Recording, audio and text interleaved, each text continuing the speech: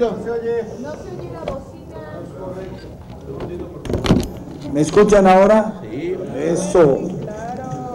A ver, ahorita tuvimos una reunión de la Junta de Coordinación Política donde tomé posesión y entre los actos que creo que les puede servir a ustedes, déjenme les digo que se aprobó ya el calendario de sesiones para el primer periodo ordinario del tercer año de ejercicio de la 62 legislatura. Le estoy pidiendo al doctor Héctor que les regale ahorita una copia del calendario, ahorita todos ellos, ¿sí? Por favor.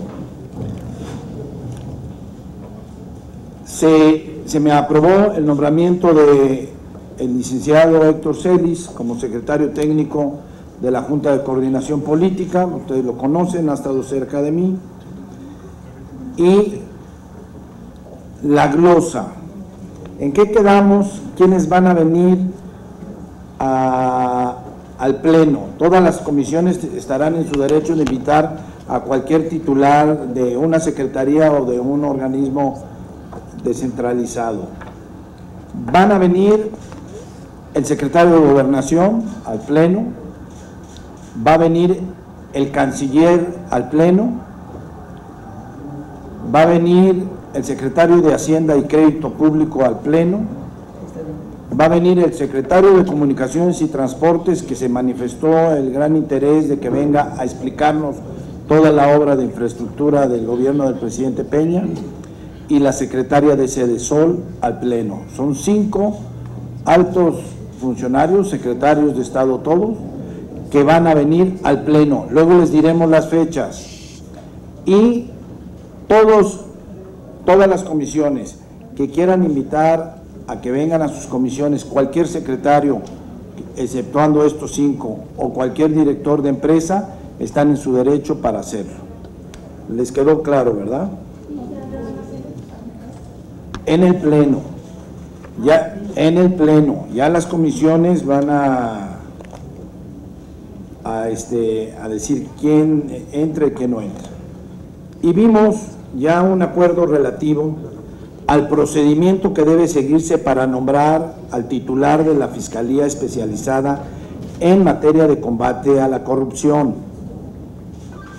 Aquí los grupos parlamentarios me pidieron que les diéramos hasta mañana para consultarlos con sus jurídicos. Vino el senador Escudero, el senador Gil, para explicarnos cuál es el procedimiento y el día de mañana les diremos si quedó aprobado o no este procedimiento, ya para nombrar al titular de la Fiscalía Especializada en materia de combate a la corrupción.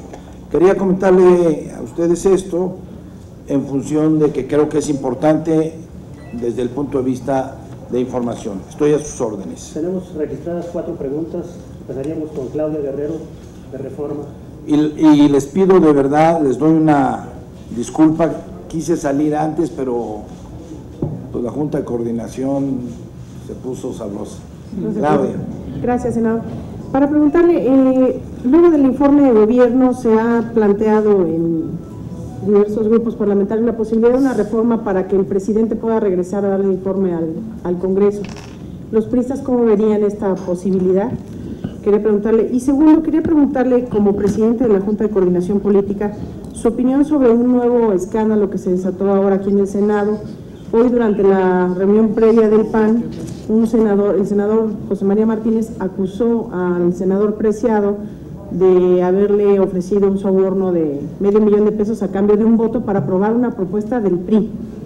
Entonces, si usted tiene conocimiento de, del tema y qué opina de que se, de que se registren este tipo de hechos. Gracias por el Gracias. A ver, el PRI está completamente de acuerdo, Claudia, de que el señor presidente de la República regrese al legislativo a rendir su informe de gobierno. Lo que no ha habido es garantías de respeto al titular del Ejecutivo por los mismos grupos parlamentarios. El PRI dice que venga, Acción Nacional parece que dice que estaría de acuerdo que venga bajo un formato, y el PRD nos dice, a ver, no lo expongan, no lo traigan, entonces que el presidente su informe y luego que los secretarios de Estado vengan a la glosa. El PRI vería con simpatía que el señor presidente de la República regresara a rendir su informe de gobierno donde debe hacerlo, que es en el Palacio Legislativo. Hubo una reforma, por eso no va al Palacio Legislativo, pero haríamos una reforma y estoy seguro que sería aplaudida por la gran mayoría de las diputadas y los diputados, de las senadoras y de los senadores.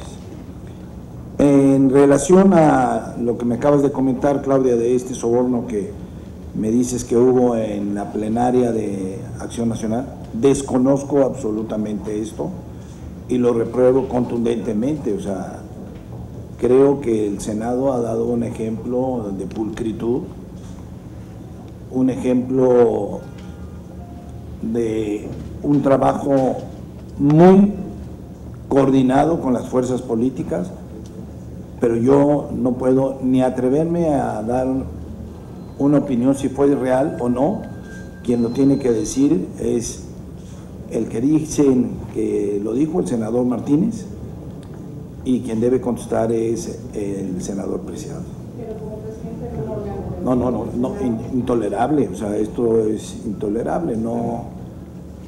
Espero no haya pasado, porque no es la costumbre, y yo fui también ya senador, que así actúe el Senado de la República. La siguiente pregunta es de Alberto Morales, del Universal. Coordinador, buenas tardes. Alberto. Eh, quiero preguntarte, en la glosa del informe, si ya tienen la fecha cuando van a, venir el secretario de Comunicaciones y Transportes, y siendo una pues, de, las eh, propuestas de infraestructura más importante del gobierno del presidente Enrique Peña Nieto, ¿habrá otras reuniones para que quede bien claro cómo va este nuevo proyecto? Todavía no tenemos las fechas, se van a enterar por ustedes ahorita. Me imagino que los secretarios de Estado que deben estar comiendo muy a gusto en el momento que oigan que cada una de ustedes y cada uno de ustedes ya lo sube a su portal, van a decir, oye, no hemos hablado con ellos.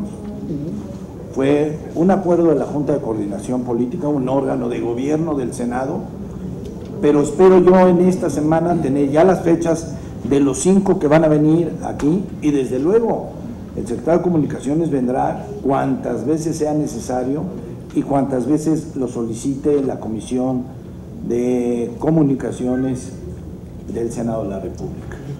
Pero ya quedó en firme que vendrá aquí al Senado de la República. al Pleno. Es de Verónica Méndez, de W Radio.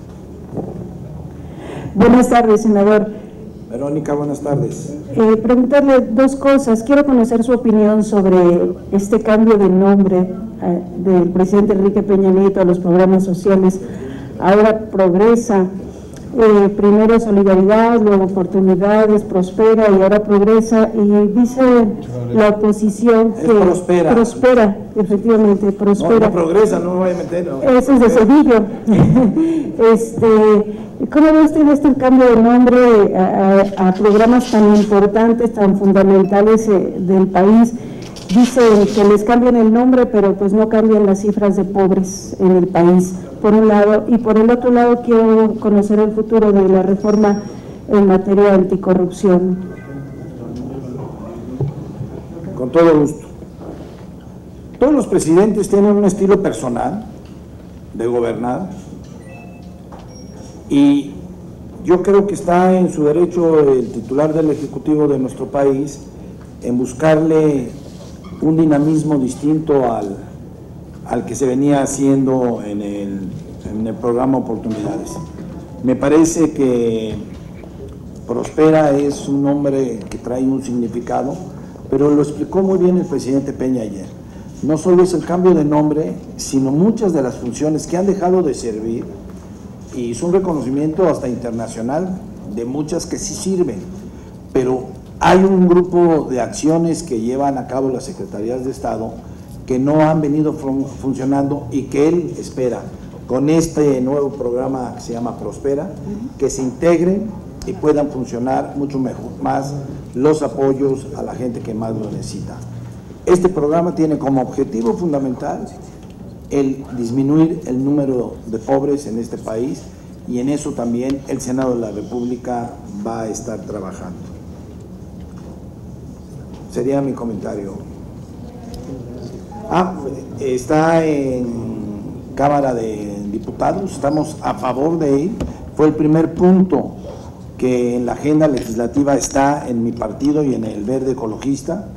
Es el primer punto del PRD y del PAN. Y ahorita quedamos en que me van a mandar ya las agendas para yo dar a conocer la agenda ya del Senado de la República, que es un compromiso de la Junta de Coordinación Política.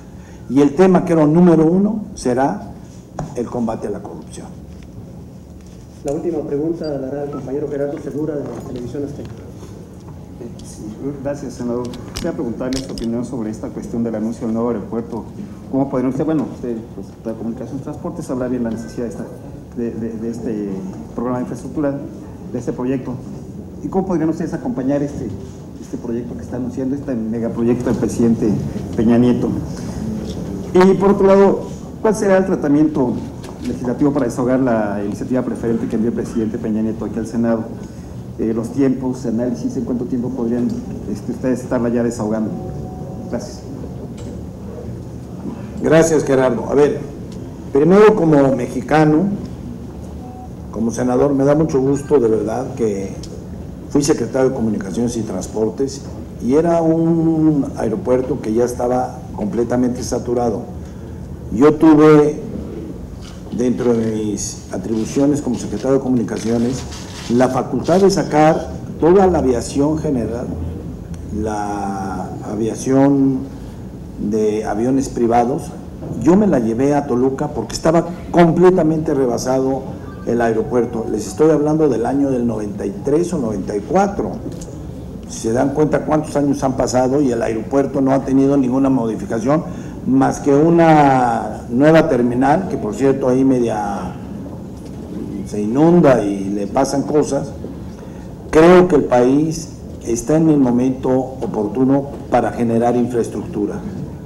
Ese fue el anuncio de ayer del presidente de la República que le da veracidad a sus compromisos y nosotros ayudaremos a la Secretaría de Comunicaciones y Transportes a través de la Comisión de Comunicaciones, evaluando y revisando la construcción de este aeropuerto.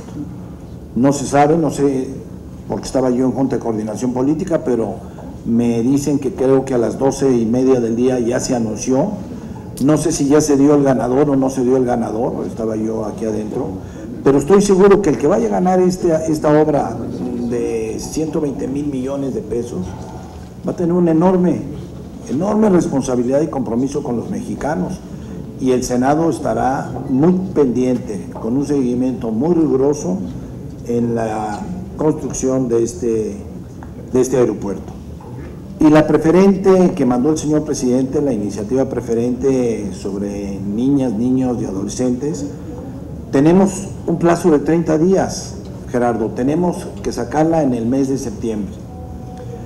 El día de hoy ya se dio el turno, se dio el turno a seis comisiones, que a mí me da mucho gusto, que todas quisieron participar, fue a petición de las comisiones y vamos a partir de mañana ya a hacer un esquema de trabajo para trabajar coordinadamente con el gobierno federal y con los diputados y las diputadas federales. Es una iniciativa muy bondadosa que yo creo que requiere este país, el que tengan procuradurías los niños y las niñas, me parece que es fundamental, pero yo dejaré que las comisiones fijen su tiempo.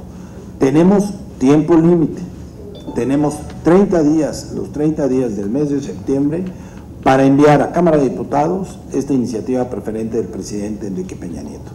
Muchísimas gracias, buen provecho y nos vemos mañana.